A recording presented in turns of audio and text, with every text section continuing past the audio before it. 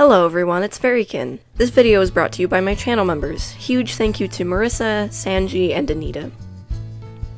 Today's a rather small project. It's uh, one of my close friends' birthdays. I mean, not right now, but it was.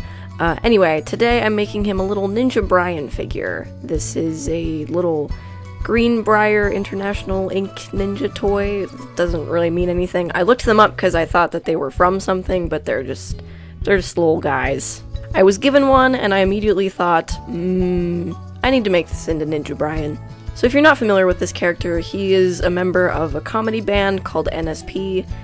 I'm going to challenge myself with this because this is the smallest thing I've ever painted. His face is smaller than my thumb, so I start by analyzing what needs to be done so that I can paint him effectively. He's pretty banged up, uh, he came from a thrift store, so who knows what he's seen. Uh, he just needs the plastic seams trimmed and sanded so that he's all smooth, and so that the paint will stick. There's parts where whoever sculpted him left parts of the plastic in, in spaces. I'm not sure why. Um, so I'm going to carve those out so that they look right. What is this? Anyway.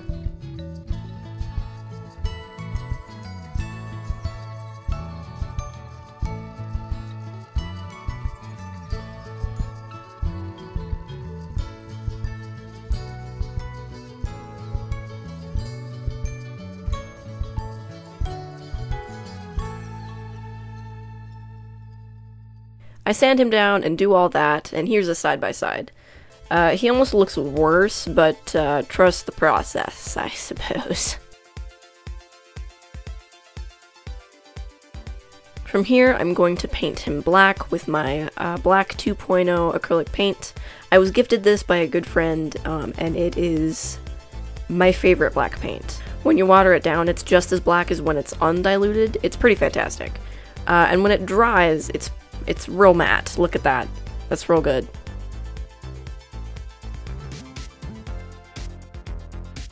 Anyway, now to add detail, I will be adding highlights to the black parts uh, with gray. Uh, mixing up the gray with a little bit of brown in it to add depth to the color. I find that just using black and white is kind of flat somehow.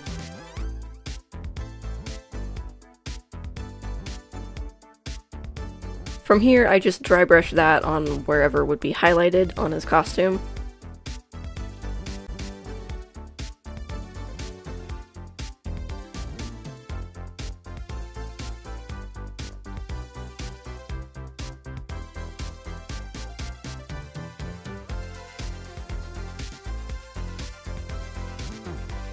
I mix up a brown and hit his boots with that.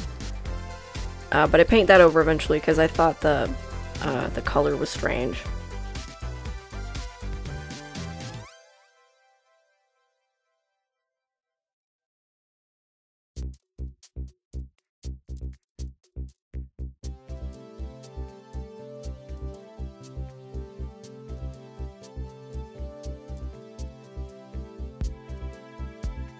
I paint his sheath straps brown as well,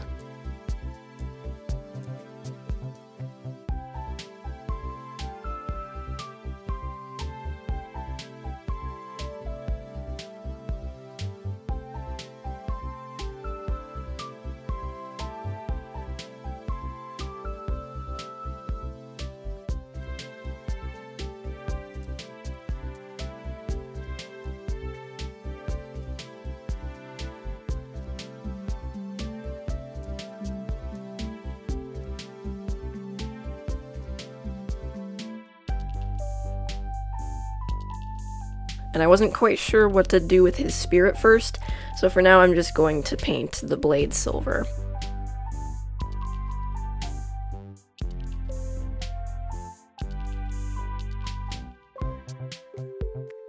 Moving on to his face and hands, I mix up a beige for his skin tone. This color is kinda hard to achieve, uh, so I did my best with what I had. I used tones of brown, white, yellow, and pink. Once I got the color that I wanted, uh, I paint his hands and face this color.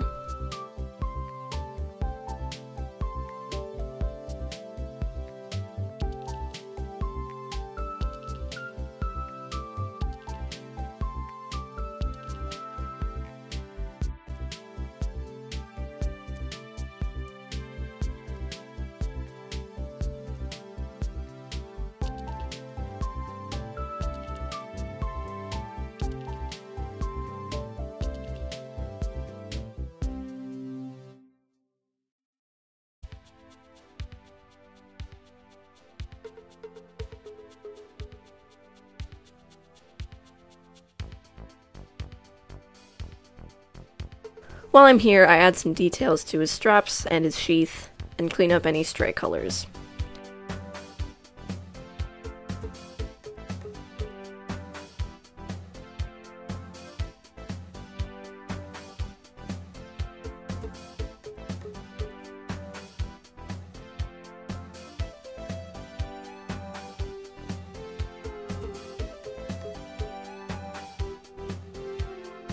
Now to begin on his face.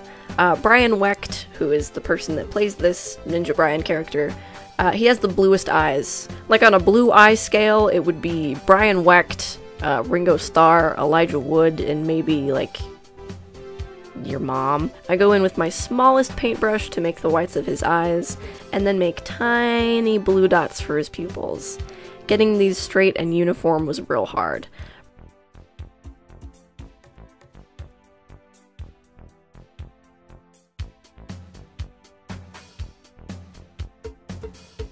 Brian has some heavy eyebrows and always carries his murderous intent in his eyebrows, I think. So I mark those in with brown. And then I mark any shadows or creases with a darker beige tone. Because Ninja Brian only knows violence, I paint on some old looking blood on his spear, uh, which might get me demonetized, but that's, you know, that's alright.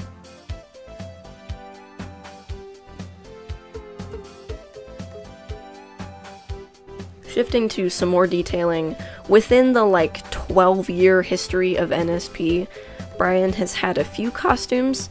I wanted to make the first one because I thought that that shape would be easier on this scale, but I was super duper wrong.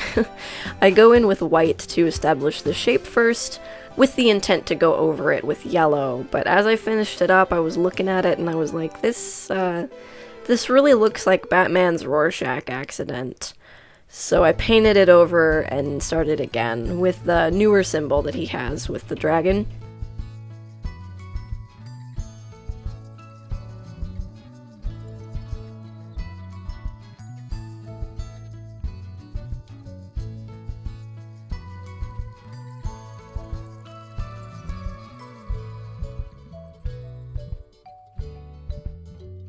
Uh, this worked out a lot better. I finished up everything and added metal finishes to the handles of the swords and added uh, gunmetal color to the staff.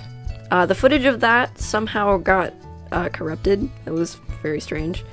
I signed the bottom with my initials and the year it was made, and with that, he's all finished.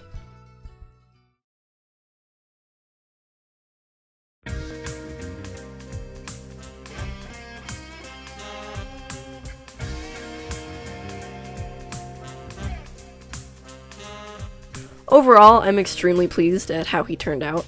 He's so small, I was afraid that I wouldn't be able to do his face right, but I did it, and it's all good. So huzzah.